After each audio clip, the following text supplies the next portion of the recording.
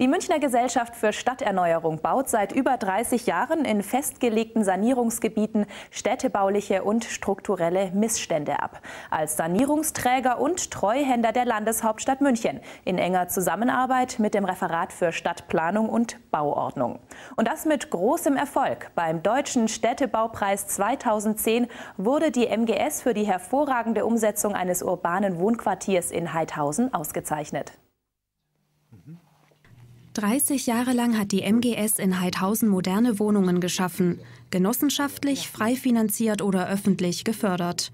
Nun ist der städtische Sanierungsträger mit einer Belobigung beim Deutschen Städtebaupreis 2010 ausgezeichnet worden.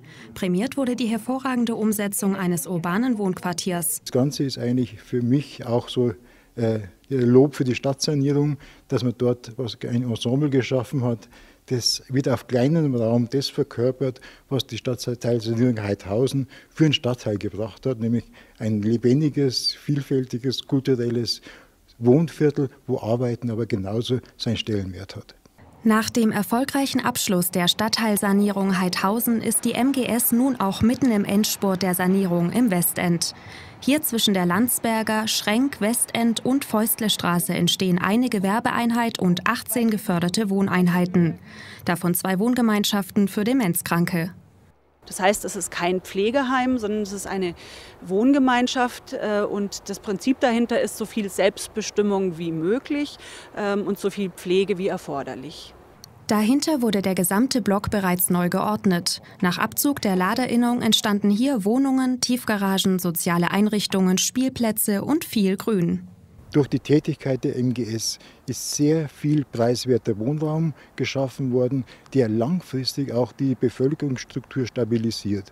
Und äh, dazu kommt natürlich auch die Grünflächen, die Begrünung von Höfen, die sozialen Einrichtungen, soziale Netzwerke, die im Rahmen der Sanierung geschaffen worden sind, sodass äh, hier eigentlich ein Gegenpol vielleicht zu äh, geschaffen wurde zu Neubaugebieten, sondern dass man wirklich in dem alten angesiedelten Gebiet wieder gut leben kann. Für den Abschluss der Westendsanierung hat der MGS-Aufsichtsrat jetzt noch mal knapp 20 Millionen Euro für die letzten vier Projekte bewilligt. Allerdings, diese Sanierungstätigkeiten sind nur möglich durch den zusätzlichen Einsatz der sogenannten Städtebauförderungsmittel.